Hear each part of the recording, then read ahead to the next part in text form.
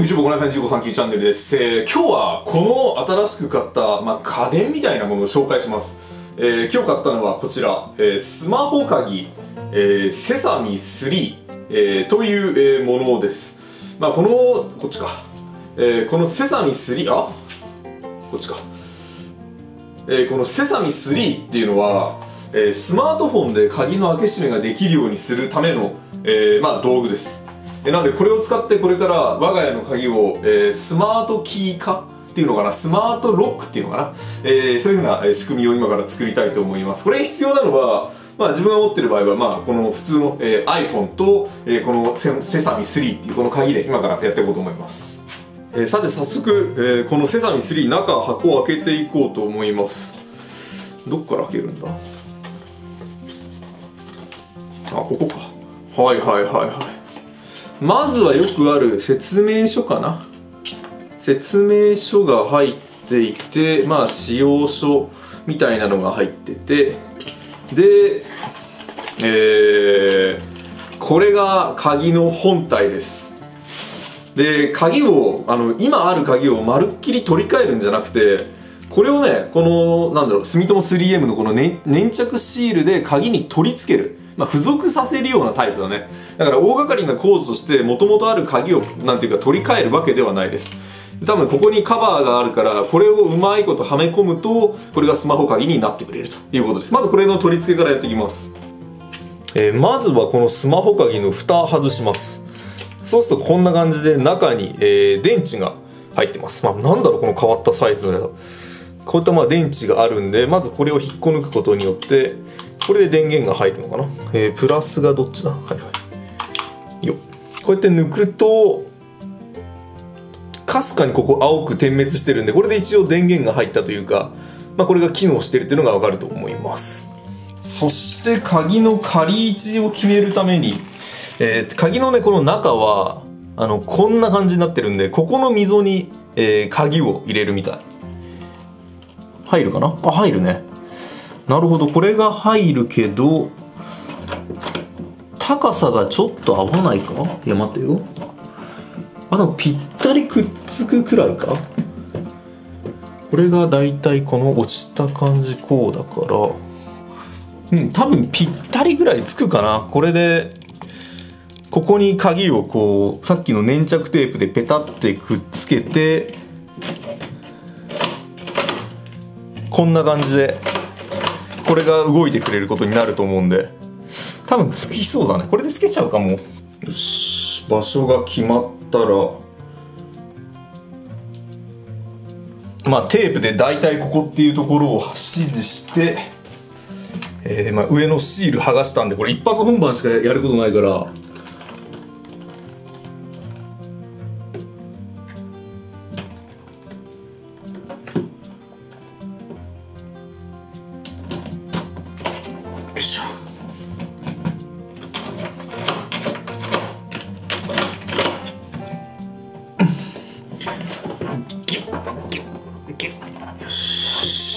かな。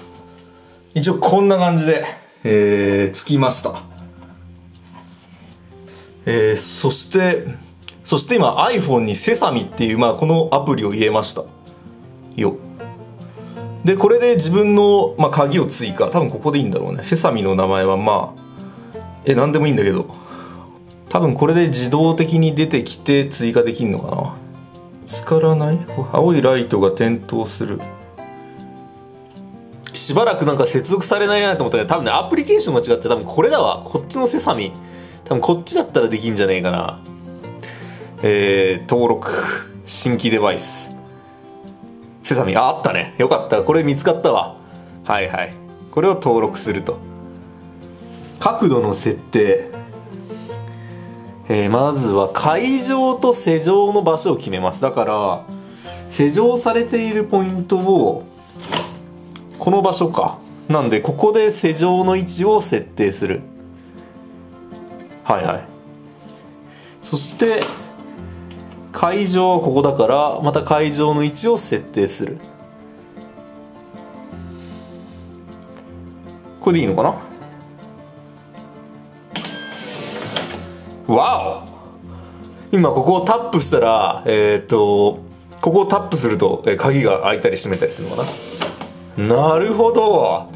ちょっと見えづらいかここでやってみるか。えっ、とだからここ開け閉めがここでできます。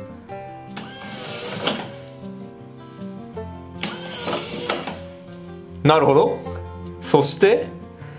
えーまあ、このように、まあ、ボタン一つで、まあ、鍵の開け閉めができるということは分かったんだけど、まあ、このアプリケーションを、まあ、帰ってきて毎回こう立ち上げて開ける閉めるっていうのは結局鍵出すのと同じで面倒くさいというふうに思うのでこれね自動で開け閉めができる、えーそういう機能があるようです。で今ウォートロックっていうのがあってこれはあの勝手に誰かが例えば開けるとまあこんな感じで決まった時間で、えっと、ロックがかかるようになってます。であとはでこれがすごいね多分手ぶら解除っていうのがあってまあちょっとわわからないように、まあ、今自分の位置とこのどこに鍵があるかっていうのと今自分がどこにいるかっていうのが分かるんだけど、まあ、このなんていうの？自分がこの携帯電話が家の近くに入った瞬間に勝手に、えー鍵が開くっていうそういう仕組みっぽいのでちょっとこれ試してみます。えー、セサミのねその自動解除自動施錠についての説明の動画撮ろうとしたんだけどどうやってもねドアとか映っちゃってねかなり特定の危険性が高いので、えー今回はあのちょっと口頭で説明させてください。今そのセサミを導入して今大体ね1週間くらい経ちました。でさっきその説明したその自動解錠モードっていうのは今オンにしていてでその自分がこの家の近く20メートル以内の範囲に入った段階で、えー勝手に、えー鍵が開くように今はなってます。で勝手に鍵が開いてもその自動の今度オートロックっていうのがあってでさっき見てもらったオートロック5秒にしてたんだけどオートロック5秒になってると何が起きるかっていうとえ家に帰ってくる。で家に帰ってきて鍵が開いた5秒後にまた鍵が閉まっちゃうんだよね。だからあの自分の場合だと例えばこう車で帰ってきてで荷物とか下ろしてってやるとどうやってもね5秒以内にはその玄関に入れないんだよね。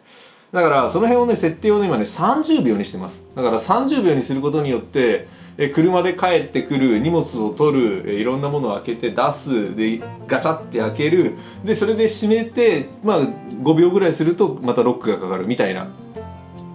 今ねそんな形で運用をしています。でまあ今自分の場合はこの自動ロック解除を使っててで結構なんていうかそのうん広い土地にあるというか例えばだけど大きなこうマンションとかいっぱい部屋数があるマンションで近くに行って開くってやると結構多分ねそこから自分の家に行くまで時間がかかったりとか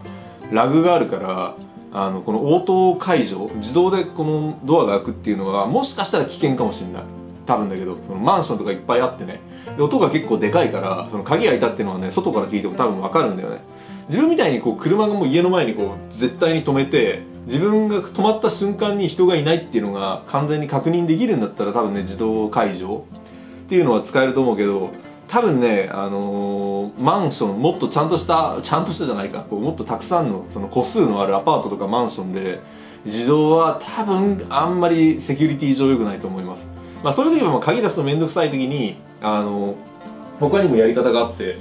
例えばまあこれもねどれぐらいめんどくさいかっていうのによるんだけど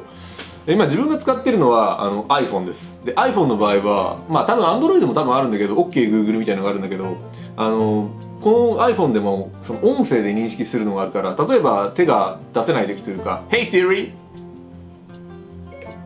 開けごま」少しお時間をください。っ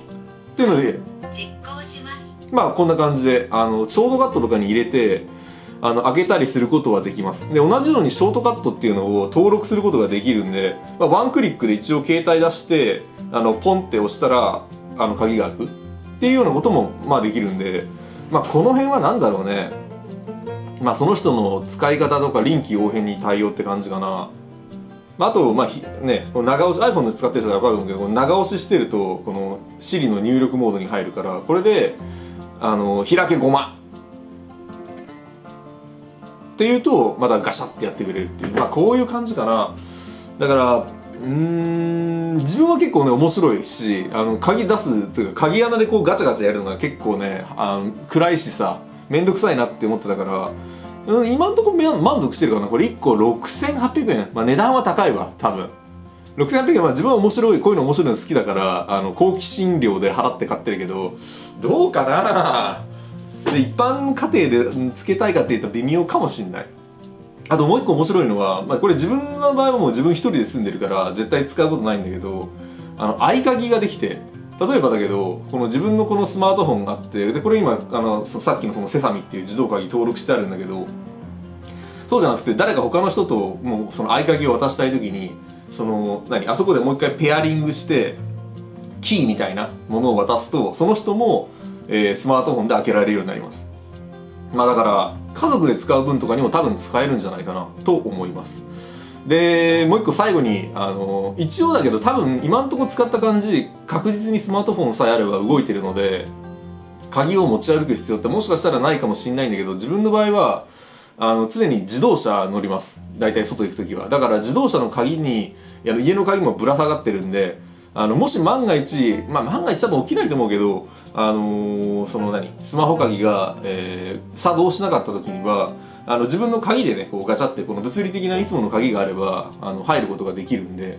でそのあたりもまあ特に問題ないかなっていう感じかな。だから今のところ自分はその鍵を持ち歩きたくないっていうよりもこの鍵の開け閉めがめんどくさいっていう部分に関しては、えーこれで解決したかなというふうに思っています。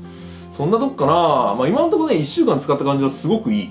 あので電池もすごく長持ちするらしいから2年くらいは持つって書いてあったからそれも大丈夫。あとはあのーまあ、大家さんへのメッセージも込めてなんだけどあのベリってあのその住友 3M のこのテープでベタってくっつけてあるけどあれはなんか綺麗に取り外すためのキットがついてるんでだから外すこともそれはそれで簡単にできるみたいなんでそれも心配ないかなというふうに思います。以上。そんなとこかな？あそうだ。あと他にも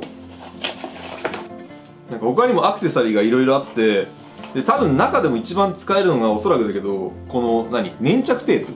粘着テープの予備が2枚入ってます。で2枚入ってると、まあ、2回失敗してもいいっていう考え方もできるし例えば引っ越した時にあのあの機械さえあれば他のところで取り付けられるんでまたそこで使えるっていうことになるんで、まあ、これは取っといて損はないのかなというふうに思います。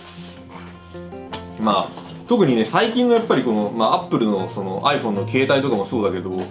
なんか余計な説明とかもどんどん減らしてるし物もすごく小さい。ほんとこれだけ。この箱一つに全部収まってるんでこれだけはちょっとキープしとこうかなというふうに、えー思います。以上、えー、セサミ3、えー紹介でした。私はいいと思いますがまあどうだろうな。ちょっと怖いところがあるのとかまあいろいろその辺をちょっとあの考えて皆さんで